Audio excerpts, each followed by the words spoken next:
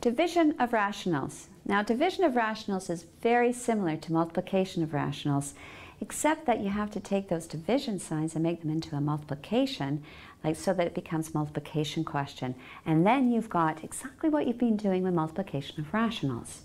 So before we get into the algorithm and how to do those types of questions, I want to ensure that you understand what is going on and why we change these divisions into multiplications. So to begin with, before I, I do an example with fraction, I want to do one where I'm just going to give you 12 divided by 3, a very simple example. And what does that say? Well, if you've got 12, it says divided by 3, that means how many groups of 3 or how many 3's can you take out of 12? Some people like to say how many 3's go into 12. But let's right now say how many 3's can you take out of 12? Well, that is 4. So if you have 12 things and you took out um, groupings of 3, you would have 4 groups of those 3. Now, let's go up to here and look at an example that uses a very simple fraction. And that is if you have 2 divided by 1 quarter, how many groups of 1 quarter or how many quarters will go into 2? Or how many quarters can you take out of 2? That's really what division is saying. Well, look here, I've got a couple of circles here and I've divided it up into quarters. How many quarters can you take out? Well, four and four, which is eight. So that's your answer. There are eight quarters. Two divided by one quarter is eight. Now, how is that written? That's fine, but I don't, you don't want to look at, at, circles all the time and try and figure out how many fit in how many don't. There's an algorithm that works really well, and basically you're taking that two and you're saying for each one of these pies or these circles, there are four quarters. So instead of uh, using the division sign now, you actually take this number and you're going to flip it or find the reciprocal of it. So instead of 2 and 2 divided by 1 quarter now, that is the same as 2 times 4 over 1. And notice that that division sign goes with the number that follows it, and that's what's, what changes. When you ch change this from division to multiplication, this flips. It happens at the same time. So now you've got 2 times 4, which is 8. Same answer. Let's look at the same idea here and then look at the algorithm. First of all, now in this case, you've got 2 and 3 quarters divided by 1 quarter, not just 2 divided by a quarter. So 2 and 3 quarters, again, you've got, divide, I've written it out here, so you've got 2, and then there's a 3 quarters here shaded in. So you've got 4 and 4, plus another 3. So 4, 8, 9, 10, 11. You've got 11 quarters will fit into or can be taken out of 2 and 3 quarters. So your answer is 11 because 11 quarters can fit into 2 and 3 quarters, right? Now, how do you write that as an algorithm? Again, you start off with, with the question and this time you want to rewrite this so it's an improper fraction, just like you did with your rational numbers when multiplying them. So 4 times 2 is 8, plus 3 is 11 over 4. And there are how many, well you want, you know you need to multiply by 4 because for each one of these circles there's 4 of them. So again, you multiply and at the same time you take the reciprocal, you flip it over. As soon as you change this in division, you change this number as well. Right? So what you've got is 11.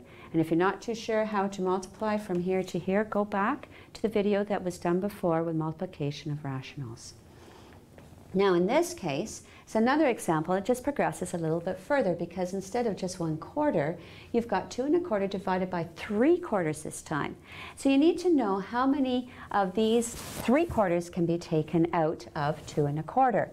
Well, here's A, A, A, so there, there's one three quarter.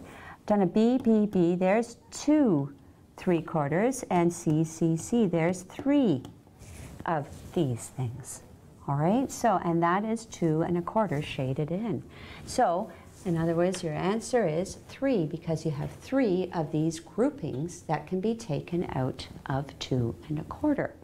Now, to write the algorithm, again, you can rewrite this. I'm going to rewrite it immediately as an improper fraction. So 2 times 4 plus 1 is 9 quarters. And divide that by 3 quarters. And that's the same as saying 9 and 3 quarters, or 9 quarters times 4 over 3. Because you know for each one of these circles there's four parts, but they're in bundles of 3. So therefore, you can flip it and you just multiply it out and you will get the number. So if you multiply that out, can you see these cancel? 3 goes into nine, 9 three times. So your answer is 3. This is the explanation why. This is the algorithm. The algorithm is what you're going to use to get into much more interesting questions such as this. So you do not have to show the circles anymore, please. these circles are for you to understand why division of fractions works. You can also do that on a number line, the same concept in terms of groups of numbers. This is just one way to show it. So now let's look at the algorithm and look at a much more interesting question than these simple things. Right, so here's a question that's very similar to what you've had before, except it's only been uh, multiplication of rational numbers. This has division. That's the difference. Now, this division sign goes with the number that follows it just like you did re relocation property. Now the first step, just like you did with relocation property when you had multiplication or divisions, is to find out if it's positive or negative at the end. And the same with multiplying rationals.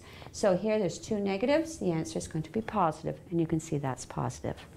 The next thing, just like what you did with multiplying rational numbers, you have to get rid of these mixed numbers and make it into improper fractions so that you have all the numbers in the numerator or in the denominator. So that's what happened here. 532 times 6 plus the 123 is 3,315. And you made this into improper fraction and this into improper fraction.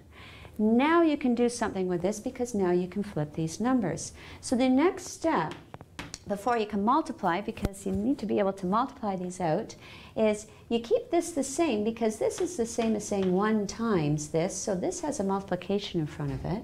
That stays the same, 3315 divided by 532. Then you multiply by, when you change this to multiplication, you have to change this at the same time. So it's 726 over 2275 and then the next one, you're changing that to a multiplication, which means this has to change, and you've got the reciprocal here, 6171. Now you've got a multiplication of rationals question, you prime factor, you cancel out, and you get your final answer. And that's it for division of rationals.